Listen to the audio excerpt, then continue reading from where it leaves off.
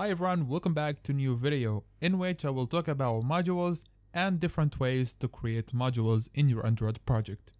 And before I start this video, I want to tell you about my full course about modularization in Android, which will teach you everything you need to know about modularization with best practices like modularization basics, uh, the multi-module architecture that is recommended by Google, create custom Gradle plugins to reuse dependencies across your modules, and more and more. All of that will be explained by building a real production currency converter app that can work fully offline. So if you want to learn about building a well-structured Android app using multi-modules architecture, then you don't want to miss this course and I will leave the link in the description. Okay, firstly, let's understand what a module is, then we will see how to create modules. So a module at the end is a sub-project inside your main project that could be treated just like a library, where you could implement it and access its public classes and functions from different modules and you're gonna see that in this video. Now open any project you have or create your new project and go to the project tab here. You could see that we are in the Android view hierarchy. Just switch this to the project so you can see all of the files or the modules inside your project. Firstly, you will see that we have the main module, the project module, which is called modules playground. This is the name of my project so it will be just the same as of the name of your project. And then you have another module here called the app module. This is the entry point of your app. Here you basically, yeah, define the main Java and here you can find the main activity, the manifest file, the resources and all of that. You definitely know this if you are an Android developer. Now what you can do is to create other modules just like the app module but for different purposes. So to create modules in Android, in Android Studio, there are two main ways. The first way is creating module manually and the second way is using Android Studio templates. Let's start by creating a module manually because this will get you more familiar with modules and will show you what happens, how modules are actually created. So to create a module manually, you need to select the parent module that you want to create your child module or your sub module inside. In our case, we're going to create a new module inside our main module, which is this one. Right click on this, then select new, and then choose directory you can see there's a module option, but this is the other way using the Android Studio template. Now we just want to create one manually, so click on directory. And here you give the name of your module. I will keep this simple and I'm gonna create a module called model, which will have some like model data classes. So click on enter. And now this is just a normal folder. To convert this into a module, we typically do that inside the settings Gradle file. So open that up and to convert this folder into a module, you can say include, then you open string, colon, then you add the name of your module, which we named model. Now we click on sync now, and notice how the icon here changed.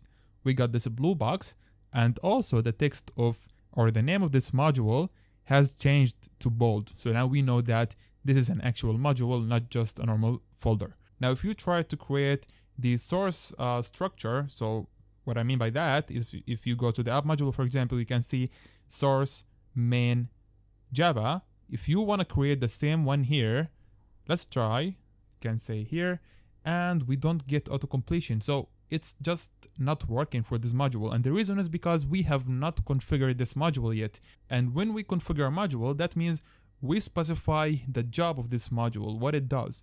And in our and to configure a module, we can do that with Gradle. So we need to create a build Gradle file specifically for this module and configure it. And to create that, right click, new, then choose file. Here we can name this build.gradle.kts. Click on enter. Okay, now we want to configure this module to be like a Kotlin module, just pure Kotlin module. That means you can just create Kotlin classes. So to do that, we can say plugins. That's how we configure a module just by specifying the plugin. And to configure this one as a Kotlin module, we can add this back quote, double back quote, and then we can say Kotlin DSL. So if you click on sync now, now as you can see, it's highlighted with purple. And if you try to create the source structure, so if you go directory, as you can see, we have now auto completion. That means this module is now configured for Kotlin. So let's create source main Kotlin. And let's create a new class here. For example, let's call this, yeah, let's create a new model.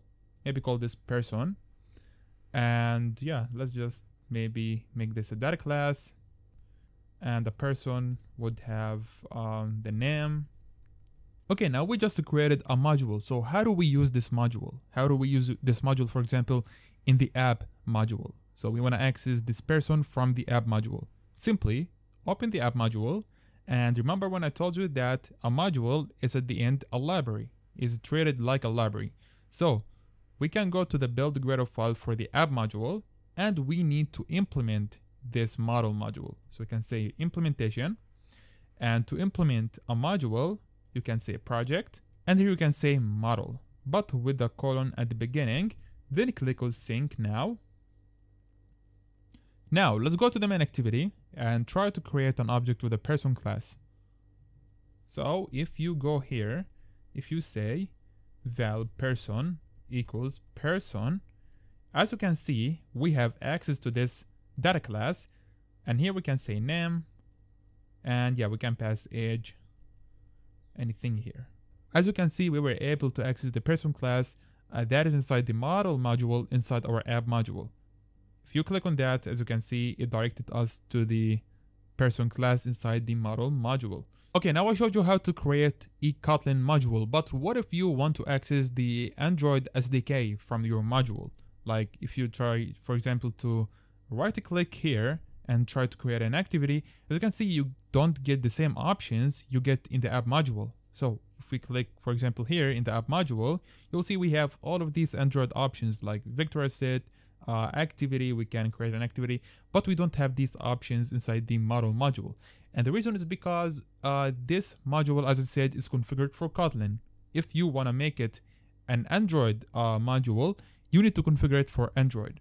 And to do that, we just need to change the plugins. But before that, I also forgot to mention that here you can definitely add dependencies. So you can open dependency block and you can add dependencies specifically for this module. So I just forgot to mention that. But anyways, now as I said, we want to convert this into an Android module to access the Android SDK. Now we can go here and change this plugin to a plugin called com.android.library. Now this is the Android plugin that will convert this module into an Android library module and we need another plugin for Kotlin that is specifically for Android. So we can say id jetbrains.kotlin.android, that's right. And now we want to configure the Android block. Open that up and yeah, it's highlighted with red now. But once we sync that, everything will be okay. Now for the Android block, we need to define the namespace. And here, let's name this com.length dot, uh, let's say model. Then we need to configure some more options for Android. So if you go to the app module, the build Gradle file for that module, you can see that these are the same things. So what I'm gonna do is that I'm gonna copy all of that and paste it in here.